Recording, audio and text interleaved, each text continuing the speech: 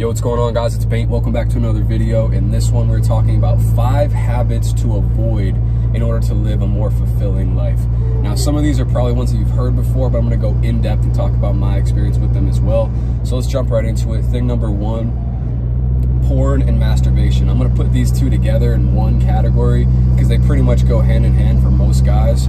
And truthfully, while I believe that porn and masturbation, um, if they're separate, it's less damaging. Like porn is its own demon in and of itself, and it's definitely, at least psychologically, significantly more damaging than masturbation. However, I also I think that masturbation in and of itself is just a a low value habit, and it's very degrading to yourself.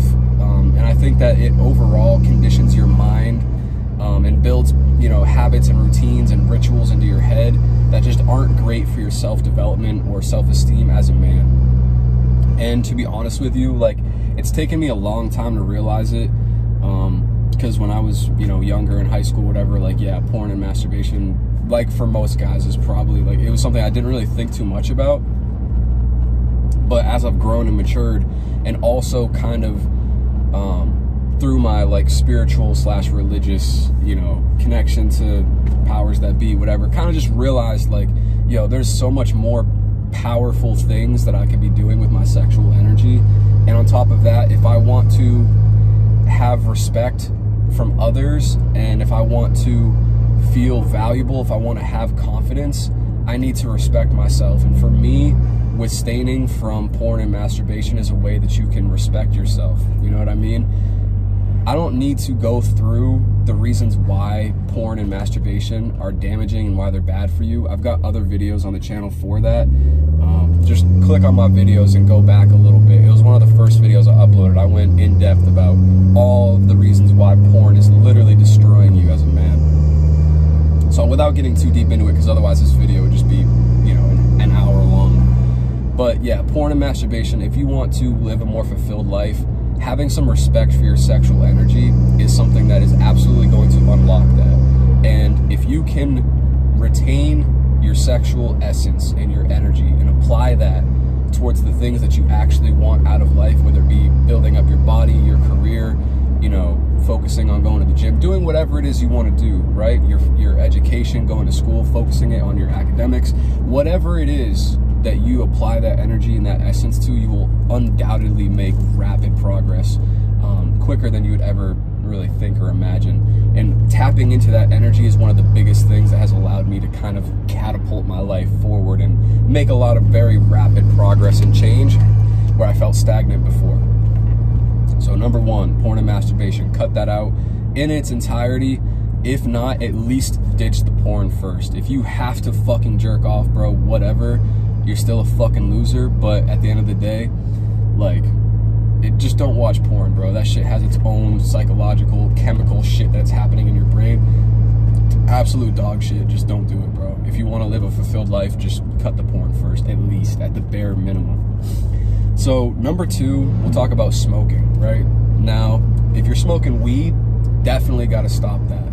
I, you know, coming from a huge fucking stoner, bro. Like, I wish, I mean, I could put the videos out to, to prove it, but I don't feel like doing that to myself. But just know that coming from someone that smoked a fuck ton of weed, like to put it in perspective, for probably two to three years of my life, I was probably high for more hours of the day than I wasn't.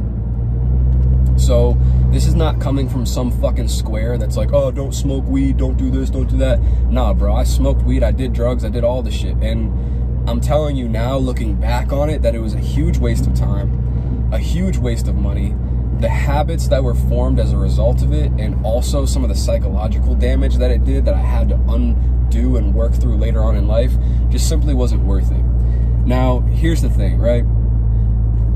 Category number three is drugs and alcohol, and I was gonna save that and get into it, but we'll kind of talk about both of these things simultaneously smoking and doing drugs and alcohol, extracurricular shit, you know, fucking shrooms, acid, molly, coke, whatever the fuck. Now, I can sit here and preach to you and tell you, don't do drugs, don't smoke weed, don't do this shit, don't drink.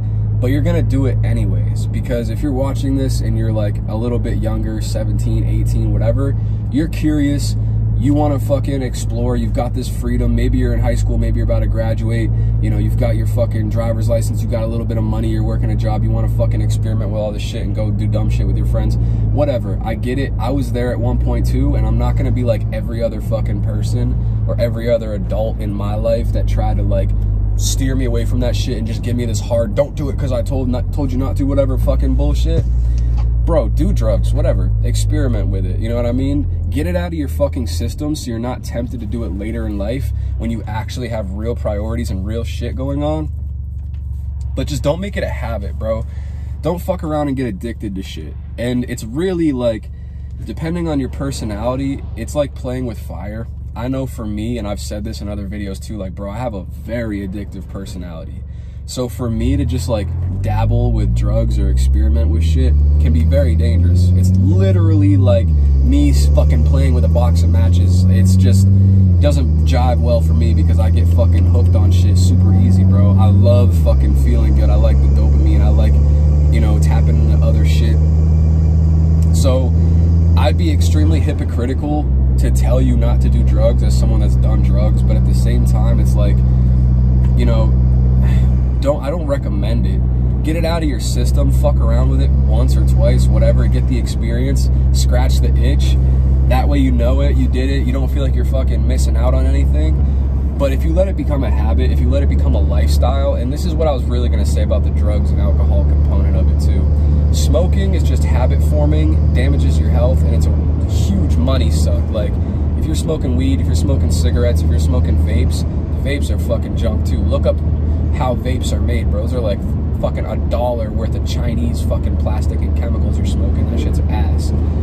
But the the smoking is extremely habit forming. It's gonna drain your finances because you're fuck. It's you got re up every fucking week, month, whatever.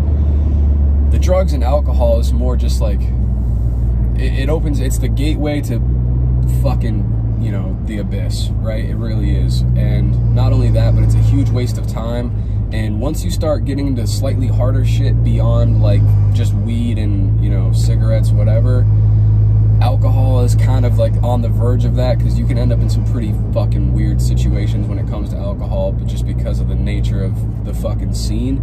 But bro, once you start getting into other drugs like that, you start to expose yourself to a whole other risk, which is just like the people and the vibe and the environments that you have to go to, that you have to be connected with to get these things. And bro, it just it can lead you down a very dark and one-way route pretty quickly. So just be responsible, be extremely careful, and definitely don't do fucking shit like heroin or opiates or oxycontin. Fucking extremely addictive, like with there's a risk of overdose. Don't do that fucking shit, bro. So drugs are not like they used to be in the fucking 80s when everything you could buy was pure and uncut. I would say that it's damn near impossible, depending on where you're at, to like know for certain without getting test kits and all this other shit if you're gonna do drugs and know that they're clean. So it's just not even worth the risk. I've had too many people around me, you know, have fucked up shit happen to them or people that they know and, you know, you know, friends of family members and people dying and overdosing. It's just not, it fucking ruins families, bro. It's sad. It's fucking disgusting. Like, you know, just ruins you. So don't do fucking drugs, bro. It's a waste of time. Thing number four, just to recap, we talked about porn and masturbation, and the last thing we just talked about was drugs, alcohol, and smoking, weed, cigarettes, whatever. Number four, video games. Now, this is one that was hard for me as well. Um, out of all of them that we've talked about so far, porn and video games are by far probably the most difficult, in my opinion drugs, all it takes is one negative experience or one bad thing happens, which sucks because usually when it's bad, it's really bad. But you have one bad trip, you have one friend that gets in trouble, you have one friend, and like you're like, all right, yeah, this is not worth it. You realize pretty quick, or you start to feel like shit. Your brain's fucked up. You're, you know, it, drugs. If you have a reasonable, if you have a logical head on your shoulders, if you're fucking grounded in any little bit, after enough time, drugs show themselves to you, and you very quickly realize that they're not worth it porn and masturbation, and video games are ones that are a lot trickier because there maybe isn't so much direct feedback as far as the things that they're causing damage to in your life. They can fly under the radar for a really long time and you won't even realize all the ways that they're fucking you up until it's too late.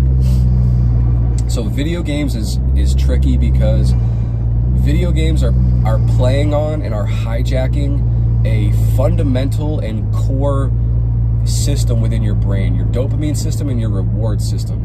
And also, the reason why so many people are addicted to video games is because when you play a video game, you have a mission, there's a purpose, there's an objective, you know, there's tasks to complete, there's rewards, there's missions, right?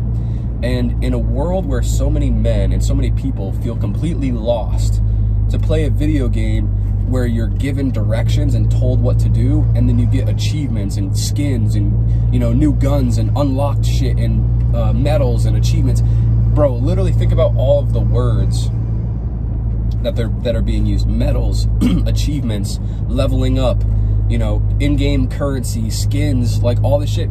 Bro all the, the words all the things that you are unlocking in your video game is actually just the shit that you want in real life, bro. You want achievement, you want prestige, you want medals, you want money, you want fucking cool shit, right?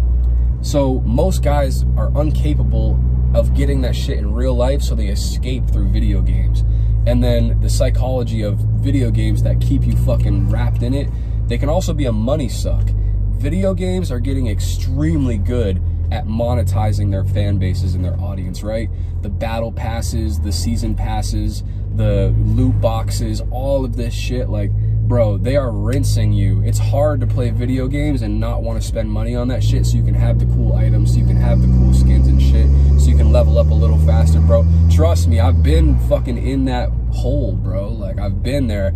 I had fucking like almost 2,000 hours on CSGO when I was in high school, bro. Like, I've been down all of these roads and I'm telling you this from someone and I'm being honest with you. I'm not going to sit here and pretend like I just am some perfect fucking individual that never did any of this shit. Right? I'm telling you straight up, bro. I've, I've been down these roads. I've, I've had these things. I've learned these lessons and I'm just spitting it to you so that hopefully, you know, you can take it with a grain of salt, but also, you know, know that I'm not just trying to sit here and fucking preach. I'm genuinely trying to uplift you and steer you away from the pitfalls that have affected my life, right? So that's my TED Talk on video games. The next thing, and this, I guess I'll tie this back into the first one. This is a bonus one, is meaningless sex and interactions with people that you have no plans on having a long-term relationship with. This is another one of those things where, like drugs, you might just have to get it the fuck out of your system try it once or twice to know that you're not missing out. You're not fucking, you know, it's nothing special. And you get the feeling, you get the gratification, you get the validation, and then it's done and it's a fucking waste of time. And you're like, what the fuck did I just fuck this random bitch for? Do it, fucking get it out of your system, bro. Be a G, fucking, you know, smash and dash, but don't do that. Don't make a habit out of that, because, bro, you're you're degrading yourself. You know what I mean? You're you're taking away from your own. Uh, essence, your own productivity, your own value. You know what I mean? I like quality over quantity. And also think about anything that's valuable, right? If you look at stocks, if you look at businesses, if you look at products, it's all about supply and demand. You know what I mean? If you're a high value guy, if you're if you're someone that holds yourself with a certain standard, you got to have that standard for women too. If you want to be seen as different, bro, you can't be out here just giving it up for any old bitch. Because then any old bitch knows that she has access to you and you're nothing special anymore, right? So be careful how you dilute yourself when it comes to who you have sex with, but also who you hang out with, right? Don't be around fucking bums, dude. This is the last thing. The people that you are around are 110% going to affect your life. And again, this is another one where in ways where you can't even see.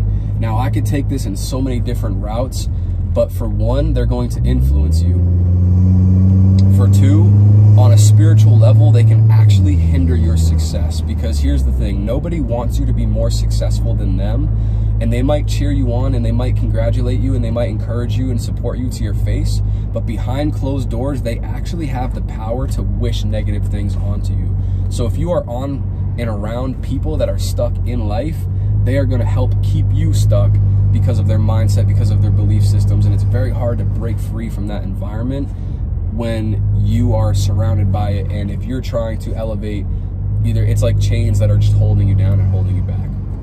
So, anyways, guys, if you made it to the end of the video, you're a real one. Smash that like button, subscribe if you haven't already. We're coming at you with more self improvement content very, very soon. Again, stay strong, stay blessed, stay dangerous. I love y'all, boys. If you like this video, if this resonated with you, I'll put one on the screen right here that I think you'd also like. I'll catch you in the next one. If you need help accelerating your self improvement journey, check out the link in the description. It'll take you to my website. I got a bunch of resources on there supplements, books that I've read, all the things that have helped me accelerate my self improvement journey and become who I am today. All right. So, with all that being said, love you guys. Stay strong, stay blessed, stay dangerous. I'll catch you in the next one. All right. Peace. Love y'all.